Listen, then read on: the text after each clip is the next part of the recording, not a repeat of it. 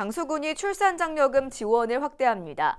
이에 따라 기존 첫째 아이에게 300만 원, 둘째 아이에게 500만 원을 지급하던 것을 각각 200만 원씩 확대합니다. 또 다섯째 아이 이상 지원금 1,500만 원을 넷째 아이 이상 1,200만 원으로 통합해 더 많은 가정이 혜택을 볼 수 있도록 조정했습니다.